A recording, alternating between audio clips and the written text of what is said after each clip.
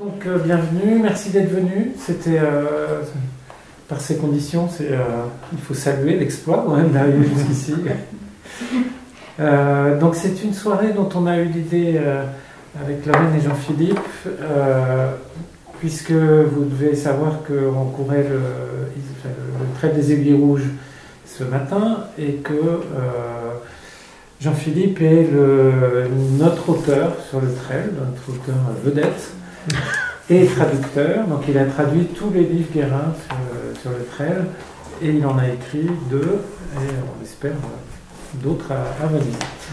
Euh, pour le présenter, si vous ne le connaissez pas, Jean-Philippe, il est traducteur, mais il est aussi euh, tête chercheuse. C'est lui qui nous amène des, livres euh, en tant que, traducteur qui repère euh, aux États-Unis. euh, dans son, vraiment, moi je connais personne qui connaisse aussi bien que lui le, monde du trail de façon euh, euh, euh, très sensible. Voilà. On a couru ce matin le, le trait des aiguilles rouges. Jean-Philippe, dès qu'on croise quelqu'un, il s'arrête, il, il enfin il s'arrête, non, il s'arrête pas. il s'en approche, il engage la conversation, il apprend des choses, et voilà. Et c'est ce qui nourrit finalement, je trouve, ton travail, c'est cet euh, appétit que tu as de comprendre ce que vivent les gens qui font du trail. voilà. Et donc, voilà, pour résumer ce que le- le- la carrière de Jean-Philippe ici chez Guérin, ça commence avec Run, qui est donc euh, euh, qu'il a traduit sauf le titre parce qu'il a eu la flemme, et euh, qui était il y a un très gros succès aux États-Unis et qui est un des plus gros succès de la maison, de la maison Guérin. Et euh, tu as enchaîné avec d'autres livres de McDougall. On va euh, peut-être pas tous les citer, mais euh, tu me disais tout à l'heure que tu as traduit 8 tu en Oui, oui, t'en es à ton ou neuf, huitième, ouais. Mm. voilà. Donc on va arriver ce soir à ce, ce livre, le huitième opus de Jean-Philippe comme traducteur et qui est donc bête de course de Bernd Heinrich.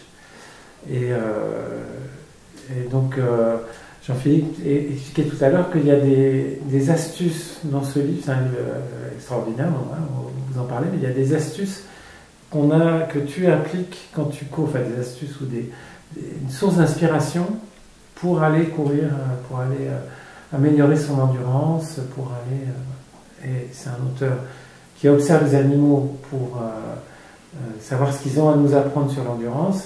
Et ben ils ont plein de choses à nous apprendre. je vais peut-être lire. Nous sommes tous faits pour courir, mais beaucoup d'entre nous l'oublient. Moi, je n'oublierai jamais ce jour de mon enfance où j'ai couru pour la première fois pieds nus sur le sable chaud d'une allée forestière dans un coin perdu d'Allemagne. Ni l'odeur des pins, le chant des pigeons ramiers, les coléoptères d'un verre éclatant qui courait ou volait devant moi. Je n'oublierai jamais ce 4 octobre 1981, plus de 30 ans après, où j'ai couru 100 km sur l'asphalte de Chicago avec 261 autres hommes et femmes. Chacun d'entre eux était, comme moi, à la poursuite d'un rêve antilope. Quand j'ai commencé à réfléchir à ce que la course représente pour nous tous, aux raisons pour lesquelles je l'ai pratiquée en compétition, j'ai été frappée par la netteté de souvenirs lointains et beaucoup de choses m'ont paru soudain limpides. Tout séparait le petit garçon qui courait pieds nus sur le sable et le biologiste de 41 ans chaussé de Nike filant dans les rues de Chicago, mais dans mon esprit, ces souvenirs étaient étroitement liés au destin de notre espèce dans son ensemble, à notre parenté avec les animaux et au premier âge de l'humanité. Ces pensées donnaient un sens nouveau à ma course. Le mouvement et la vie sont presque synonymes. En cherchant à s'élever sur des longues tiges ou sur des troncs noueux, les plantes font la course vers la lumière. De même, les graines de nombreux végétaux cherchent à atteindre des sols fertiles avant les autres.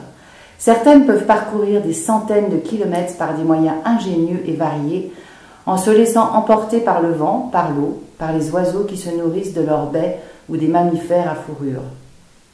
Les animaux se déplacent essentiellement par leurs propres moyens. Ils exploitent l'énergie chimique au moyen de leurs muscles. Mais comme les plantes, nous, humains, nous sommes mis à utiliser le vent, l'eau ou d'autres animaux pour nous déplacer et notre espèce exploite de plus en plus l'énergie du charbon, du pétrole et de l'atome pour la locomotion, ce qu'elle est la seule à faire. Au fil de centaines de millions d'années d'évolution, certaines espèces ont été soumises à une pression sélective qui les a rendues plus endurantes, plus rapides, plus économes et plus résistantes que leur concurrence face aux conditions extérieures. Pour les prédateurs comme pour leurs proies, la vitesse est une question de vie ou de mort. Un coureur anonyme l'a résumé ainsi, ce célèbre aphorisme. Chaque matin en Afrique, une gazelle se réveille et sait qu'elle doit courir plus vite que le plus rapide des lions pour rester en vie. Chaque matin en Afrique, un lion se réveille et sait qu'il doit courir plus vite que la plus lente des gazelles pour ne pas mourir de faim.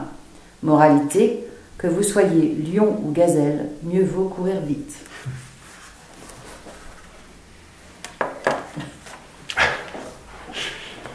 Alors moi j'avais une petite question parce que tu parles dans l'extrait que tu as lu, il y a une euh, référence à une course de 100 km qui a l'air d'être très importante. Donc c'est peut-être intéressant que Jean-Philippe nous raconte ce que c'est que cette course de 100 km. Alors euh, c'était euh, en, l'occurrence les, championnats des États-Unis 1980, mais comme il le dit dans ce préambule, c'était surtout son antilope. Parce que Bernd Heinrich considère la course à pied comme comme la chasse. Enfin, pour lui, c'est un simulacre de chasse.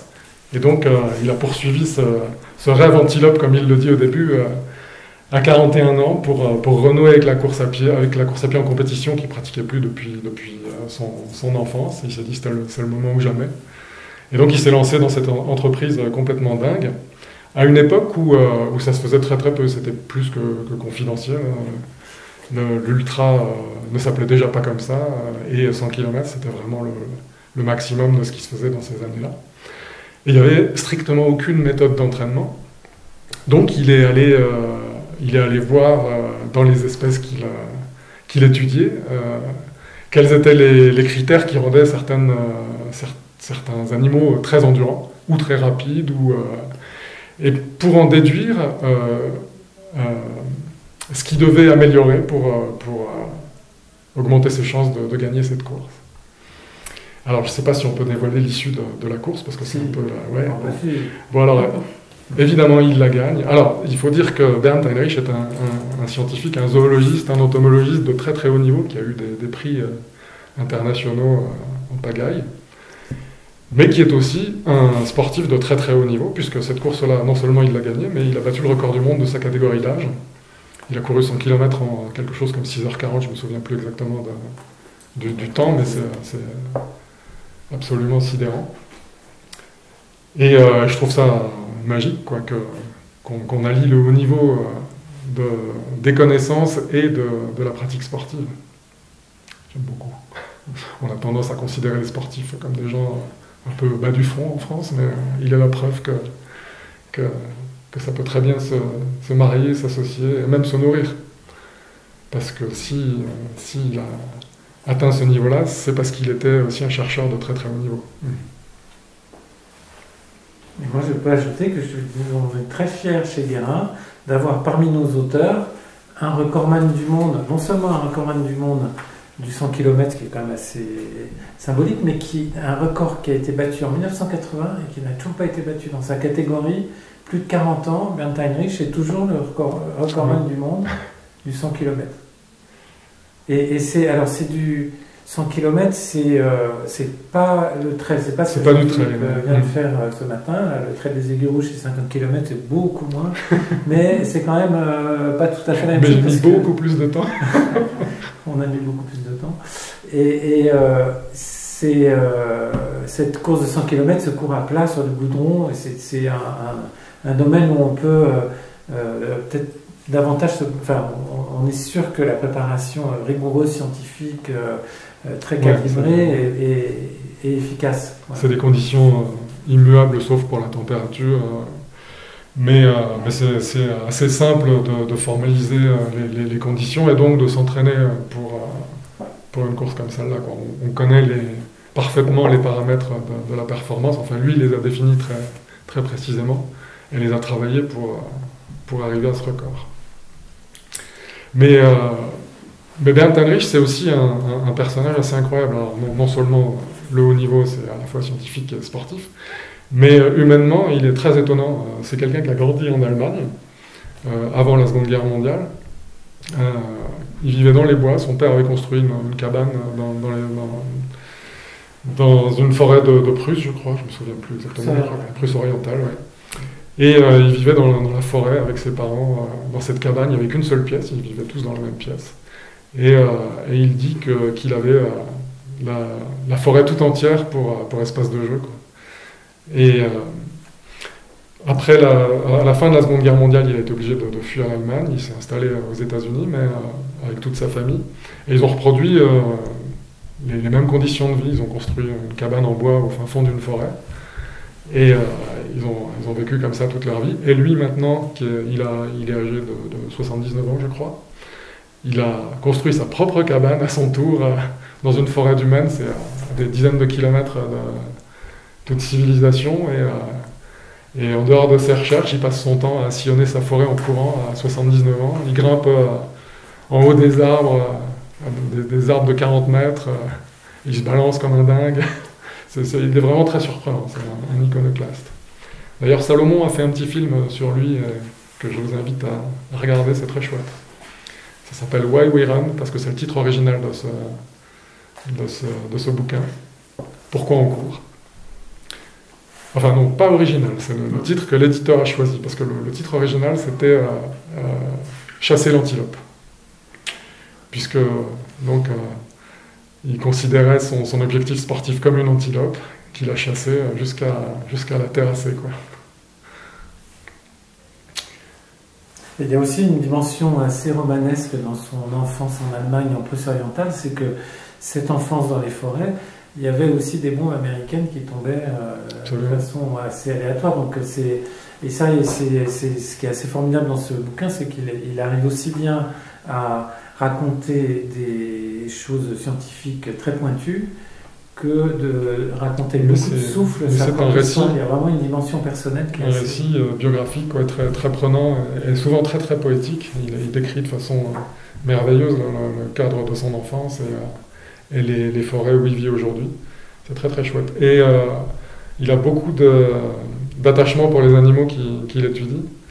Et il en parle aussi de façon euh, extrêmement poétique.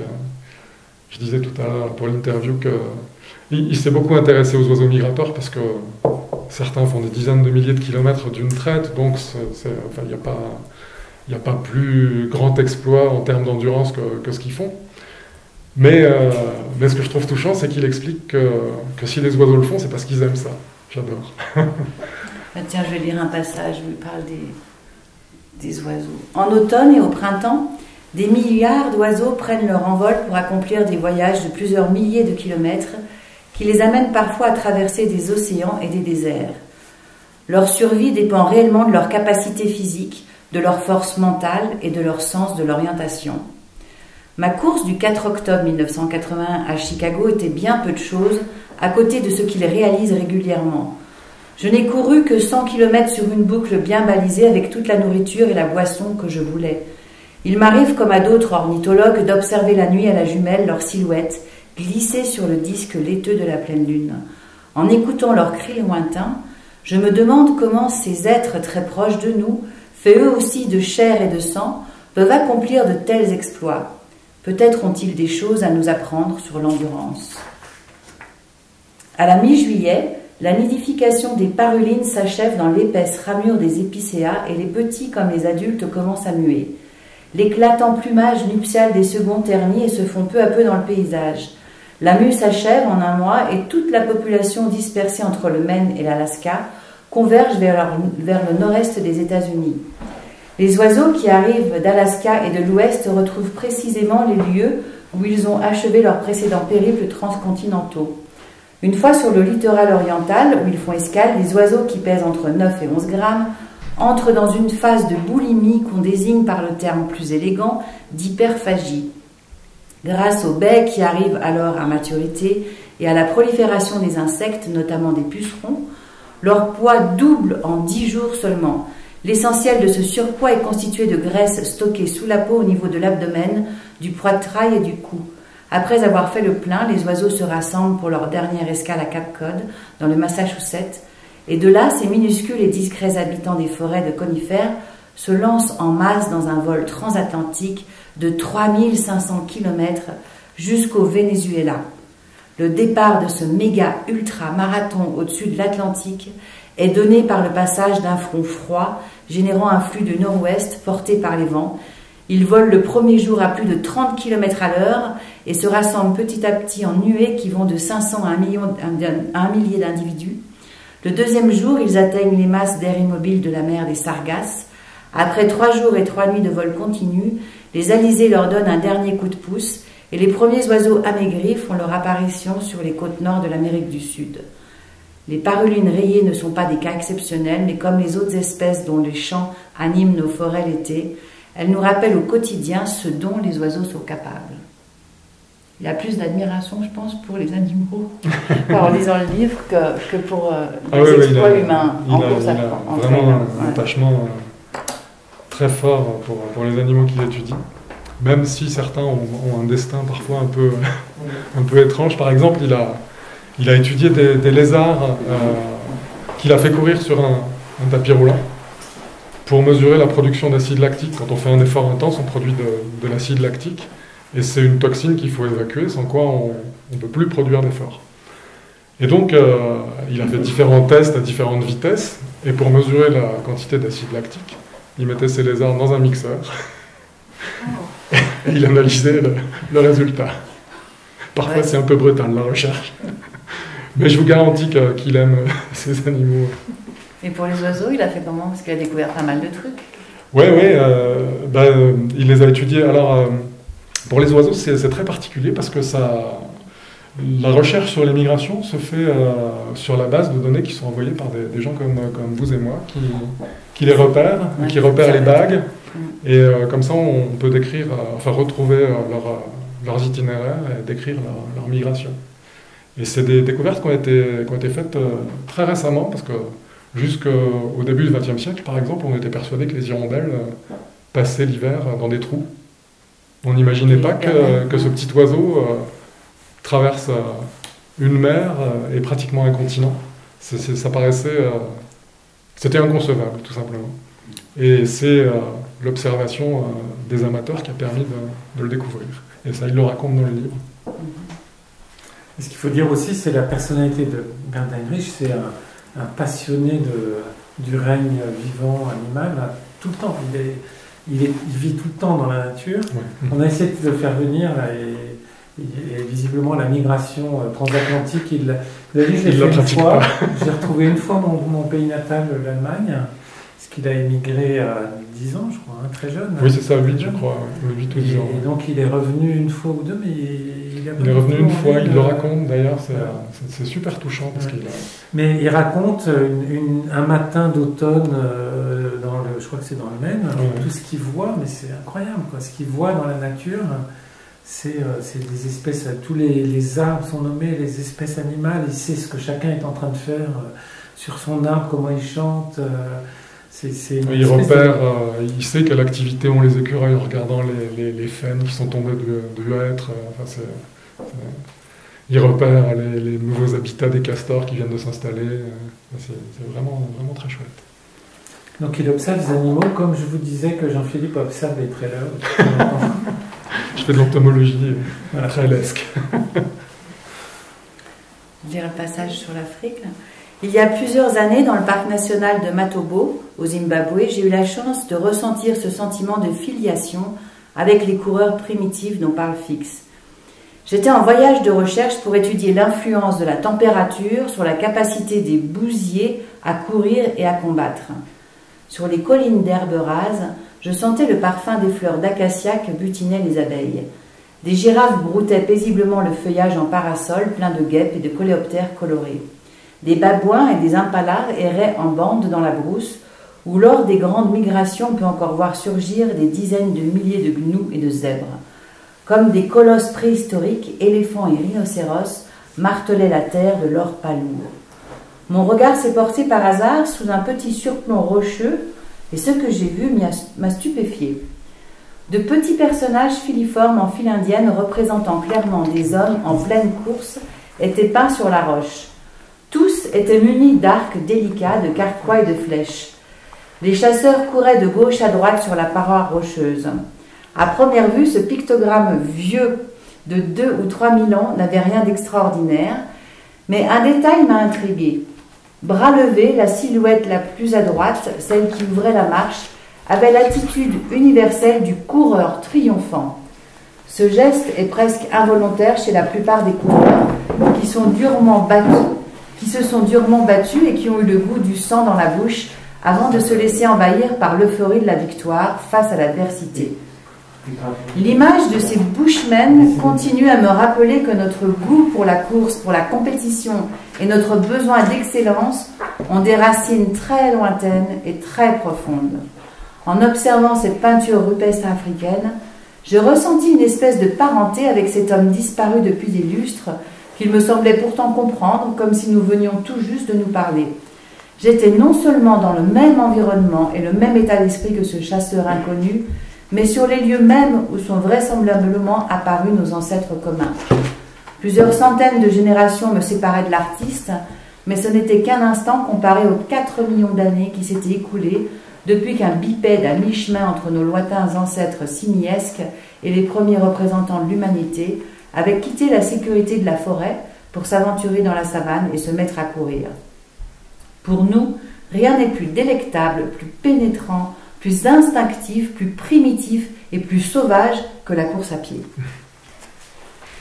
Oui, ça on l'a bien ressenti aujourd'hui. Moi aussi.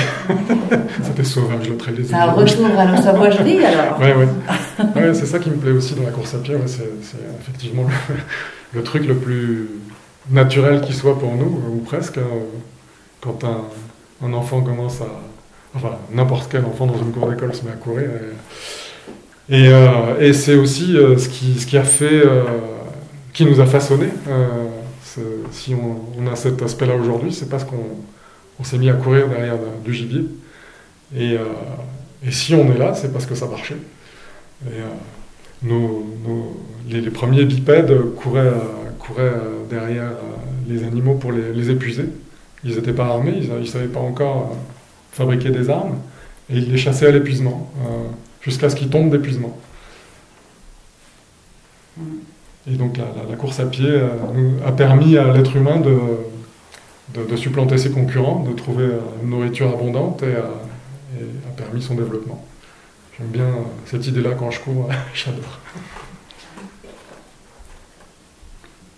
C'est ton nom sauvagement. Oui, c'est mon nom sauvagement. Ben oui, c'est ça. Il n'est pas méchant. Hein. Mais vous avez peut-être des questions, hein mhm. Parce que. Ah, n'hésitez pas, on est peu nombreux, donc euh, si vous voulez qu'on dialogue. Alors, je peux peut-être rajouter un, ou deux trucs sur le personnage, parce que vraiment, moi, je, le trouve passionnant. Euh, c'est devenu un très grand chercheur, mais au départ, c'était un mauvais élève. Et s'il est devenu euh, excellent à l'école au point d'intégrer une grande université, c'est parce qu'il était passionné de, de course à pied. Il s'est dit, le seul moyen pour que je la pratique euh, en compétition et à haut niveau, c'est d'intégrer l'université. Donc il faut que je progresse euh, à l'école pour, euh, pour y être accepté. Et, ensuite, ça s'est inversé. C'est ces recherches qui ont alimenté sa pratique sportive. J'aime bien cette idée-là. Il a, il a puisé son, son, son inspiration dans, dans, la course à pied et il a rendu à la course à pied ce qu'elle lui a apporté. J'aime bien cette idée. Est-ce qu'il a trouvé des trucs, des, astuces, des trucs pour, euh, Alors, être euh, plus performant Ouais, ouais, pour, pour l'époque, c'était euh, c'était très, très novateur parce que il a, il a été un des premiers à expérimenter le, le régime dissocié norvégien. On l'a appelé norvégien ensuite parce qu'il y a eu des recherches en Norvège. Mais lui, il ne connaissait pas ces recherches-là. Il, a fait ses, ses, découvertes tout seul. Le principe est tout simple. Pour, euh, courir euh, vite et longtemps, il faut des réserves de glycogène importantes. Le glycogène, c'est euh, du sucre qui est stocké dans les muscles et dans le foie. Et, ça provient de la nourriture. Le régime dissocié, c'est bah, une dizaine de jours avant la course, on arrête complètement les glucides pour provoquer un, besoin important. On continue à s'entraîner, donc on épuise complètement les réserves de glycogène. Le corps en a un besoin euh, irrépressible, mais on l'en prive. Et une fois qu'on en reprend, il s'engorge encore plus. Et donc on sort de, cette euh, période-là avec des réserves de glycogène encore plus importantes. C'est ce qu'il a mis en pratique. Alors euh, la quantité qu'on a en, stock euh, et que lui avait en stock suffit de loin pas pour courir 100 km, mais ça permet d'aller très très vite sur les, 40 ou 50 premiers. Et c'était un facteur important de, la performance. Je peux ajouter, parce que je trouve qu'il y a un exemple assez génial, il a fait des vraies expériences sur lui-même. Et à un moment, il se demande est-ce que la bière est, un atout ou pas pour courir? Est-ce que ça sert de, boire de la bière? C'est le côté allemand, ça. il fait le test. Et donc, il a vu. C'est hallucinant. Mais des quantités folles, ouais. C'est, euh, je sais plus, c'était une bière tous les 6 miles. Voilà, c'est ça. Et donc de courir très très longtemps en buvant que de la bière. je crois que la conclusion, c'est que ça marche très bien au début. Oui, c'est ça. on peut l'expérimenter aussi, je pense. D'ailleurs, il y a une, course euh, à Courmayeur, un trail, mhm. euh, où euh, on, donne une bonification aux coureurs à chaque fois qu'ils boivent une bière. Ça s'appelle la Rande Kabira. Bon, je ne sais pas comment ils finissent par contre. Je vais lire un, passage. En fait, il, se rappelle très très bien de sa course des 100 km. Hein, ah, il le décrit, euh, du premier au dernier euh, kilomètre euh, de façon. de façon il est hyper qui se rappelle de tout. Quoi. Ouais, très très prenante. Mais ce qui est intéressant, c'est que c'est un livre. la, course elle-même, donc son histoire, elle commence dans 1940, je crois qu'il est né en, Allemagne, en 1941. Il est né, en... pleine guerre. il est né juste avant la guerre. Il a vécu toute son enfance. Et, il, fait sa course, sa course de 100 km extraordinaire en 1980. Il met 20 ans à écrire son livre, qui paraît en 2000. Et nous, on met 20 ans à, à traduire. La fin de la chasse approche. La proie après laquelle je cours est incarnée par des chiffres rangés dans les colonnes des heures, des minutes et des secondes. Ces chiffres seront à moi pour le restant de mes jours. Peut-être seront-ils gravés sur ma tombe. Après tout, les dates de naissance et de décès n'en disent pas plus. Ce qui compte, c'est ce qu'il y a entre les deux.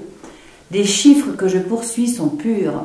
Ce sont les limites de ma nature animale, le fruit de mon imagination, cueilli avec les tripes et l'esprit. On ne peut ni l'acheter, ni l'échanger, ni l'obtenir autrement. À côté, tous les autres honneurs sont dérisoires.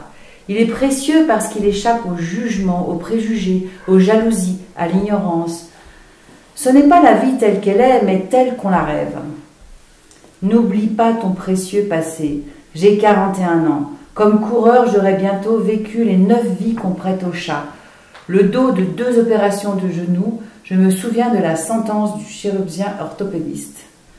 Si vous n'arrêtez pas la course à pied, je vais devoir vous enlever la rotule et la jeter à la poubelle. Combien de kilomètres me restera-t-il si je ne m'arrête pas? Je ne peux pas vous le dire. Ça peut s'arrêter demain ou dans 20 ans. Dans ce cas, je vais courir comme un fou pour être en pleine forme et profiter au maximum des kilomètres qui me restent. C'est ainsi que j'ai encore gagné le marathon de Boston dans la catégorie des vétérans. L'inactivité ne m'a jamais été bénéfique. C'est la quatrième fois que cela m'arrivait en 40 ans de course à pied. J'inspire profondément l'air frais et pur venant du lac. Des promeneurs nous regardent passer l'air concentré. Aucun de nous ne détourne le regard. Nous puons la sueur. Nos yeux vitreux sont braqués droit devant. Aucun de nous ne sourit. Aucun de nous ne se soucie de son image. Nous refusons tout jugement et voir un plongeur, un gymnaste, un patineur ou n'importe quel autre athlète de valeur s'y soumettre nous fait grincer des dents. Portion par portion, une foulée après l'autre, chacune est précieuse, chacune incarne la vie, car la vie c'est résister à l'inertie. Je puise dans toutes mes émotions pour terrasser les démons de l'indifférence qui me répètent. Pourquoi? À quoi bon? Ça n'a pas d'importance. Qu'est-ce que ça change de gagner ou pas? Et peu importe de terminer en 6h30, 6h31 ou même 8h, puisque tu es premier, personne n'y verra rien. Si, moi. Je double des attardés qui ont parfois plusieurs tours de retard. Comme dans la vie de tous les jours, les spectateurs ne peuvent pas savoir qui est en tête. La souffrance est l'unique cause de la conscience, écrit Dostoïevski. La mienne oscille entre vivacité et divagation. Parfois, elle fait apparaître de paisibles images aux antipodes de ce que j'éprouve. Je puise dans ces richesses en ravivant des souvenirs qui scintillent dans les rêves et peuvent être invoqués pour soulager une heure de stress ou peupler l'inactivité, comme l'écrit Howard Evans, un ami biologiste. Les kilomètres défilent, ma victoire semble assurée, mais si peu de choses le sont vraiment, désormais ce n'est plus mon corps qui maintient l'allure. Le cadre a lui aussi changé, les arbres se sont éloignés les uns des autres, le sol est plus dur, le paysage s'estompe, et il n'y a plus de spectateurs. Il ne reste rien qu'une bande d'asphalte d'un mètre cinquante de large sur trois de long. Ma conscience est rivée sur ma proie, cette ligne blanche en travers de la route. L'univers se contracte, se resserre. Il ne reste qu'une bande de macadam avec une ligne au bout. J'ai fait plusieurs fois le tour du monde en courant pour atteindre cet objectif que je pourrais encore manquer d'une seconde. Si je ne fais pas les 100 mètres qui me séparent d'un prochain virage aussi vite que possible, je ressentirai plus tard une douleur plus vive, plus vive et plus durable que celle que je ressens maintenant. Soudain, je l'aperçois, la récompense. Cette ligne blanche en travers de la route, 100 mètres, 50, 10, c'est fini, j'ai réussi. Je l'ai atteint cet Éden où le seul fait d'exister est le plus voluptueux des délices. Moi j'ai une question, c'est est-ce que ce récit de course éveille des, des souvenirs ou des sensations de, semblables à celles du trail? Parce que là, on a l'impression qu'il y a un côté euh, un peu lancinant, euh, obsessionnel, euh, répétitif. Là, il, fait, fait une même boucle, je ne sais combien de fois, et, sur, le, sur le goudron, donc on, est, on, est, on finit par ne plus être attentif à l'environnement, on peut juste être concentré sur son, son corps. Est-ce que c'est quelque chose qui se produit entre elles? Oui, il euh, y a un aspect qui ne qui, fait pas partie de, de, ce passage-là que je trouve euh, vraiment intéressant et qui est commun à, toutes les, les activités d'endurance. C'est, euh, il explique que à la fin de, sa course, quand il est vraiment épuisé, qu'il a utilisé toutes ses ressources physiques, il puise dans ses émotions pour avancer. Je suis Et euh, en trail, on fait ça aussi euh, parce qu'on on arrive forcément à ses limites sur des, distances comme celles qu'on court ici autour du Mont Blanc. Ça fait 171 km, euh, on, passe 10 cols, c'est complètement délirant. On arrive même très vite au bout de ses limites. Et ce qui nous fait avancer, c'est nos émotions. J'adore cet aspect-là de la course à pied et il en parle vraiment très très bien. Et euh, pour, euh, dans, les derniers kilomètres, il explique qu'il va chercher euh, ses souvenirs d'enfance, ses, amis, qui, dont, il en a enterré certains qui, ont été très malades et, il se souvient d'eux. Il va chercher toujours un peu plus loin dans l'émotion pour, pour finir sa course et c'est magnifique. Et nous, on fait ça aussi, peut-être pas au même niveau parce qu'on ne va pas battre des records du monde, mais on a besoin de, choses bien plus importantes que, l'objectif sportif pour, avancer. Du coup, vous, considérez que, un peu comme tout sport d'endurance, on a une forme d'addiction enfin, En tout cas, je pense que tous les sports d'endurance sont liés à l'addiction, on n'aurait pas ce carburant en, fond. Euh, que le trail est quand même, est quand même enfin, le carburant du trail, l'addiction du trail est comme le, le sentiment en fait, enfin, le, ressenti. Euh, je suis parfaitement d'accord avec ça. On a, longtemps dit que les, les, trailers, les ultra-trailers en, particulier, étaient des, drogués. Mhm. Des, drogués aux endorphines, parce que quand on fait un effort important comme ça, on produit des, endorphines qui sont une morphine euh, naturelle. Mais je pense que c'est euh, euh, un faux débat. Ce qui, fait qu'on a envie de recommencer, c'est ce qu'on y vit. C'est tellement intense sur le plan émotionnel que, ça, rappelle tout le temps. C'est vraiment ça qui, fait qu'on y revient. Et qu'on a du mal à, ne pas aller courir euh, tous les week-ends des distances de dingue parce que bah, c'est plus grand que la vie, quoi, tout simplement. Ça enchante la vie. Et après, même contrairement par rapport à un sport, euh, un sport qui est lié à un résultat, euh, comment dire, un résultat avec un temps défini, une compétition liée au temps, du coup, on n'a plus, plus tout cet aspect. Effectivement, ça c'est valable pour, euh, pour les, les 10% de, coureurs qui se battent pour la victoire, mais les autres, euh, pour les autres, la victoire c'est aller au bout, c'est finir. Mm. Catherine Poletti dit que c'est l'organisatrice de l'UTMB, elle dit que sa course c'est la course aux 1000 vainqueurs. J'aime beaucoup. Et euh, ouais, c'est vraiment. ça dépasse le sport, quoi. On ne fait pas ça pour le sport. On le fait aussi pour le sport, mais c'est un tout petit. On le fait parce que ça, ça nourrit notre imaginaire, nos émotions, un peu notre ego aussi. Il faut le reconnaître. Si, si, c'est très, très valorisé, alors forcément ça joue. J'ajouterais bien une chose, c'est que les émotions pendant un, trail, pour moi, c'est pas évident parce que je trouve qu'on est. Enfin, moi, je suis un peu hébété, quoi. Je suis un peu euh, euh, concentré sur euh, la fatigue, le, trouver une, un, sens à, continuer alors qu'on se dit mais pourquoi qu'est-ce que je fous là? Donc on est concentré sur des trucs assez un, peu nébuleux un peu en revanche ce que j'observe c'est que les trails que j'ai faits me laissent des souvenirs incroyablement euh, vivaces. Mmh. C'est des, des, scènes, il y a des scènes auxquelles je repense très très souvent. Donc en fait, c'est pour moi une, une, émotion, mais un petit peu peut-être un peu différée. C'est-à-dire que j'ai pas tout de suite conscience de vivre un truc qui me marque, mais avec le, le temps qui passe, et eh ben, je me rends compte j'arrête pas de. Dans certaines conditions, je repense. Hein, euh, voilà, une scène dans la nuit. Euh, hmm. Et c'est pas, c'est pas des, c'est pas des franchissements de ligne d'arrivée, c'est pas du tout euh, lié à une performance. C'est lié à des, cette espèce d'état d'esprit où on vit des hmm. choses quand même intenses et qui sont un peu du registre de l'aventure.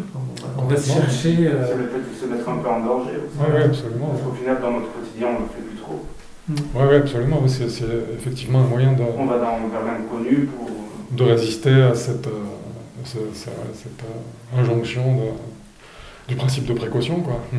C'est vrai, effectivement, ouais, c'est un, exutoire. C'est qu'on est capable de, incapable de marcher tous les jours. Demain, ce sera pire. Surtout moi. Après, on parlait des, émotions euh, en sport, tout ça. ça peut être aussi une faiblesse, les émotions par rapport au. Là, il parlait beaucoup des animaux. Je suis désolé, on voit juste la pointe euh, dessus des nuages. Oui, on l'a pas vu le week-end. C'est le moment. C'est assez étonnant. il, parle, beaucoup des animaux.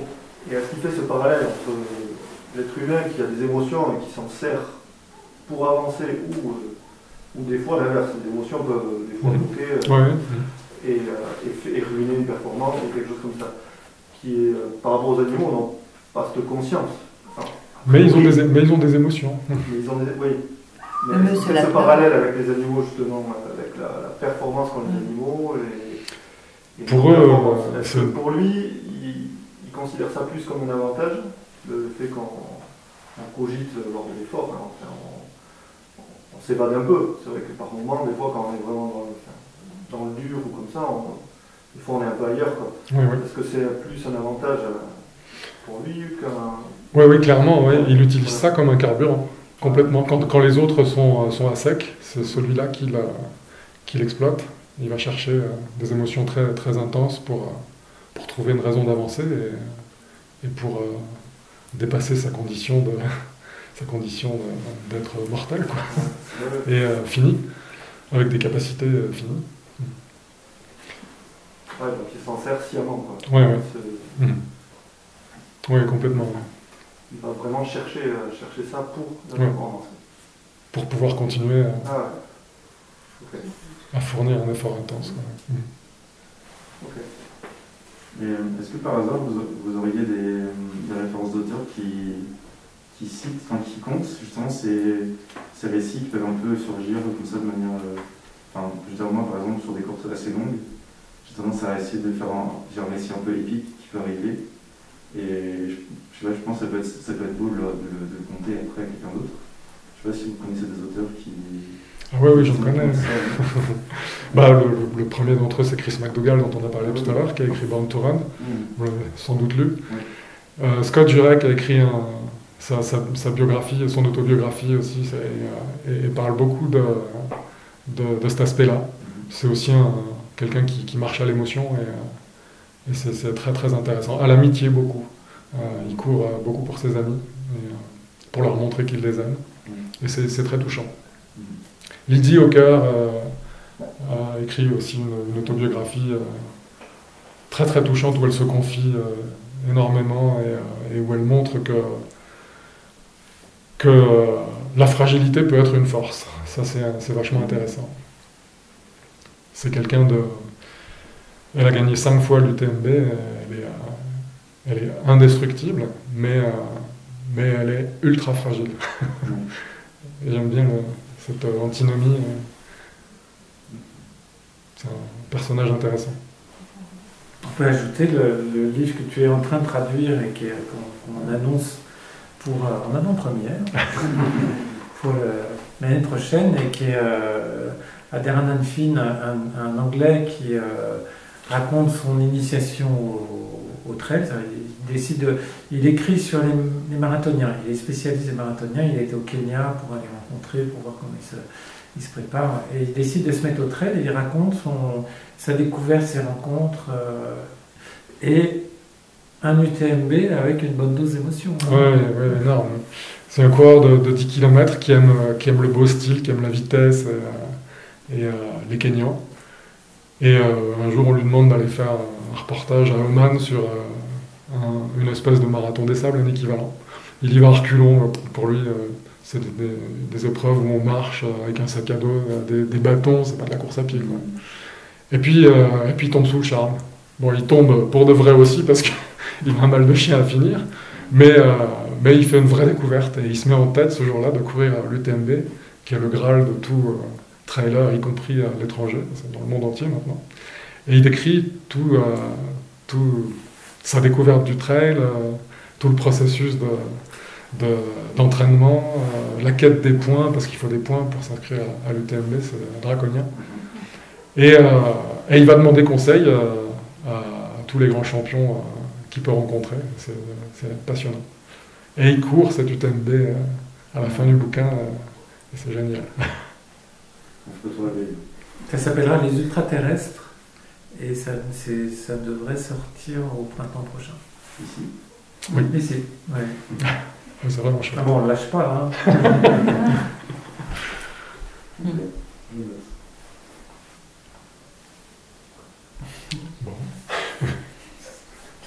Bon, ben, je sais pas. Peut-être, il y, a un truc que j'adore dans ce livre, qui est, une petite euh, scène d'enfance où il raconte, peut-être que tu peux nous, la raconter. il raconte qu'il court derrière ces. Comment ça s'appelle? Les cicindelles. C'est un, insecte, euh, il, y en a, il y en a en France aussi. Euh, là, en l'occurrence, c'était en Allemagne. C'est un, un, petit insecte vert fluo qui, a la particularité de courir très très très vite. C'est euh, le recordman de, vitesse des, insectes. Euh, et, quand il peut plus accélérer, il vole. Mais euh, c'est en dernier recours. Et donc le jeu de, de, Bernd Heinrich, c'était de, les rattraper à la course à pied avant qu'ils s'envolent. Et donc il courait derrière pieds nus dans, la forêt.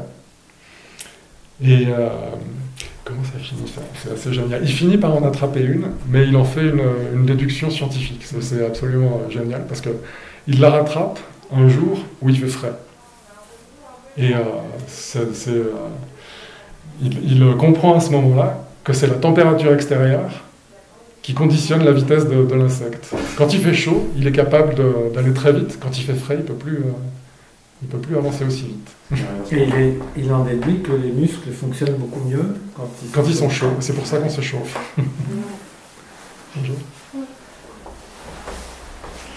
il y a plein d'insectes qui, euh, qui, pour voler, euh, les insectes qui volent en, général, ont besoin de, frissonner avant de, décoller parce que ça leur permet de s'échauffer.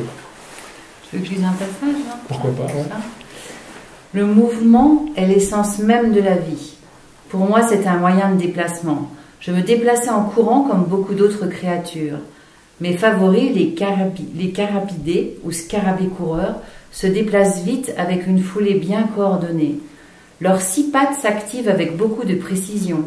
La plupart sont des prédateurs nocturnes, mais les cicindelles, une espèce d'un beau vert irisé, sont actives dans la journée. Elles aiment le soleil. J'en voyais beaucoup au printemps sur notre chemin sablonneux. Quand je me prochais, elles décarpissaient si vite que je ne distinguais même pas leurs fines pattes. Si j'insistais, elles se mettaient à voler en rase J'essayais souvent de les rattraper, mais les petits joyaux verts ne prenaient toujours de vitesse et allaient se poser loin devant moi, ce qui m'empêchait pas de reprendre la chasse. Quand le temps était chaud et ensoleillé, c'était toujours peine perdue. Par temps couvert, en revanche, elles se montraient peu et n'avaient pas intérêt à le faire.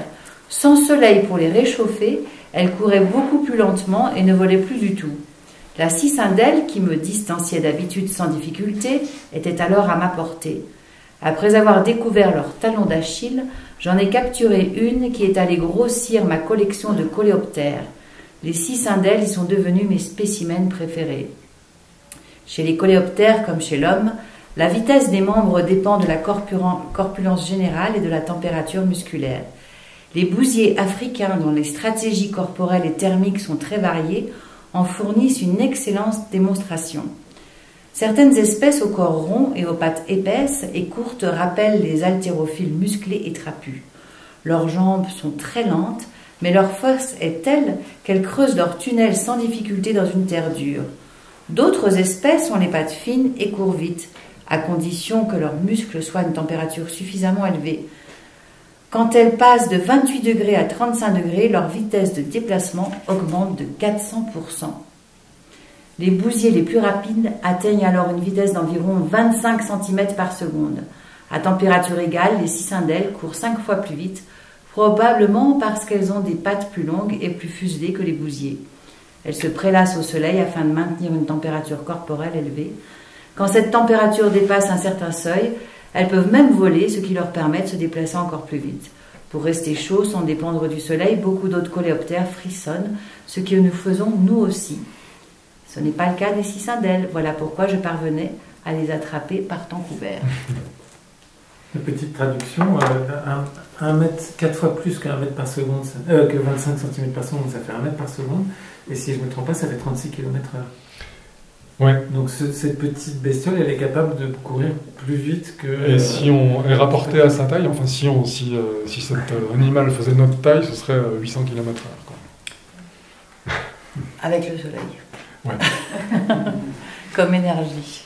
Ouais. En fait, il, explique qu'il y a quand même beaucoup d'énergie. Euh, en fait, il y a le soleil, il explique à un moment donné, il y a l'air, enfin, c'est l'énergie naturelle, c'est tout ce qu'il explique depuis le début, en fait. Oui, ouais, chimique ou, euh, mm. ou pas, quoi. Pour, mm. pour les êtres vivants, elle est, elle est, toujours chimique, mais ils sont capables d'utiliser d'autres mm. d'autres énergies que la leur.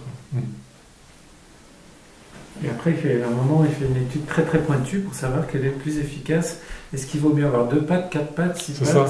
Euh, et, avec un, un argumentaire très scientifique. Euh, c'est quoi le, meilleur le ah meilleur modèle pour, euh, pour, pour, courir vite? Il se dit intuitivement, on pourrait penser que c'est le mille pattes. Euh, c'est lui qui en a le plus, c'est lui qui se propulse a priori le, plus rapidement, c'est tout le contraire. Moins on en a, plus on va vite.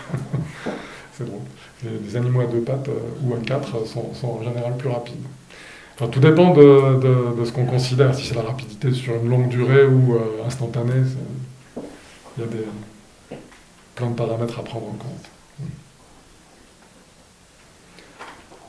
Bah, J'avais euh, d'autres questions.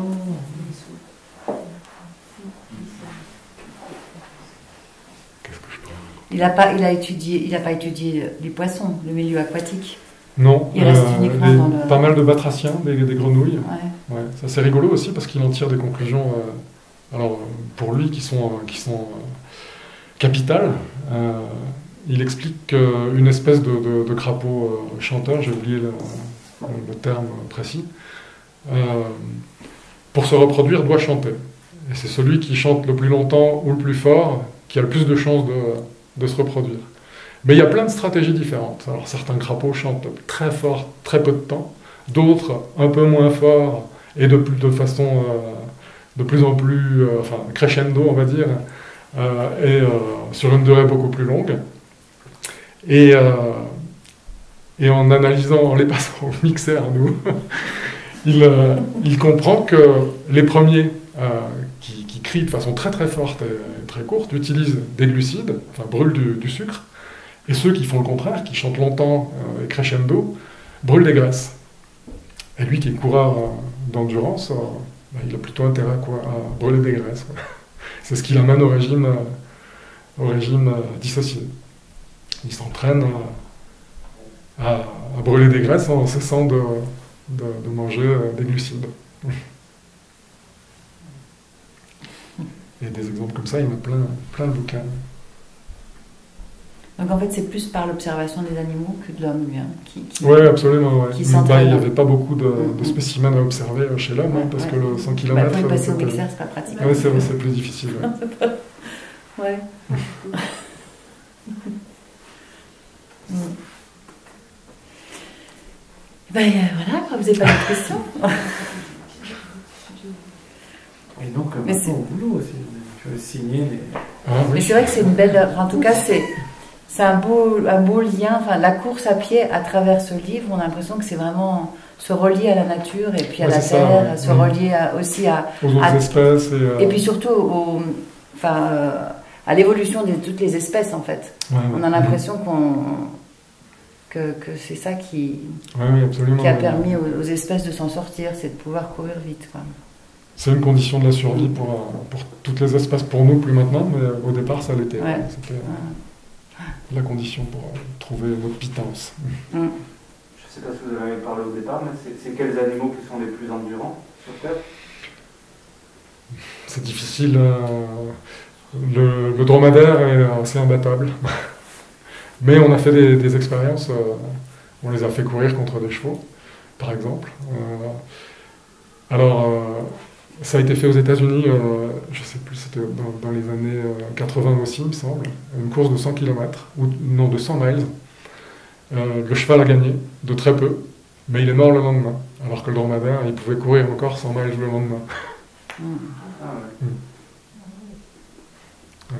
Et c'est pour ça que maintenant il y a des courses aux États-Unis avec des ânes Alors ça, ça existe depuis très longtemps. Euh, euh, c'est des, courses qui sont organisées un petit peu pour, euh, pour célébrer la mémoire des chercheurs d'art. Ça se fait en particulier dans le Colorado. Mhm. on se déplaçait avec un âne pour transporter le matériel de repaillage.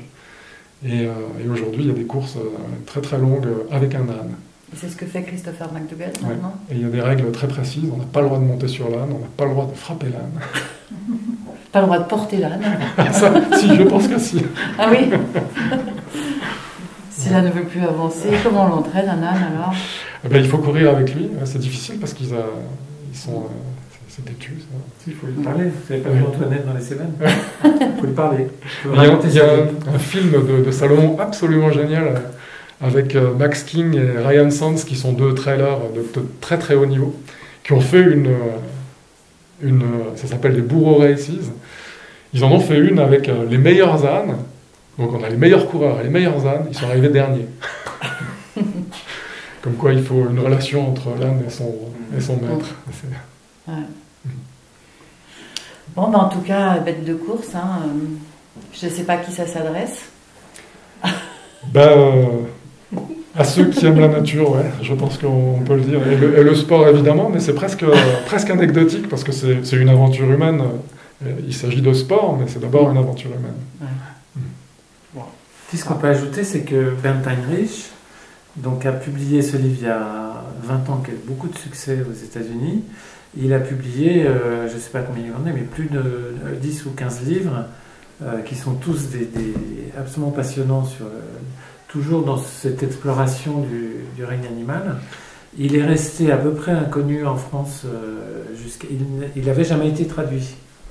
Et il se trouve que nous, on, a découvert ce bah, grâce à Jean-Philippe, voilà, Jean-Philippe euh, nous a fait découvrir ce livre, et qu'au même moment, les éditions José Corti ont, sorti deux livres de Bernd Heinrich, un qui s'appelle Survivre à l'hiver, et qui raconte comment les oiseaux se, préparent. et les autres animaux aussi. qui sont beaucoup plus de, du côté de, de, la zoologie. voilà, zoologistes. Mais, euh, Mais il y a toujours un lien avec, euh, avec cette euh, capacité à endurer, parce que l'hiver, c'est une épreuve autrement plus difficile que 100 km à pied. Et il en a écrit un, autre qui vient d'être traduit, qui s'appelle Dans, Dans l'esprit d'un corbeau, qui est génial parce qu'on on a tendance à voir, nous les animaux, comme des, êtres guidés par leur instinct, mais on découvre dans, ce bouquin qu'ils sont d'abord guidés par leurs émotions, et leurs envies, leurs peurs. C'est des, moteurs très très puissants, comme chez nous. Ça nous rapproche beaucoup d'eux, je trouve. Voilà, donc on est très content de contribuer à faire découvrir cet auteur euh, assez extraordinaire. C'est vrai, extraordinaire, on peut le dire. Ah ben merci, hein. merci de votre attention. Et...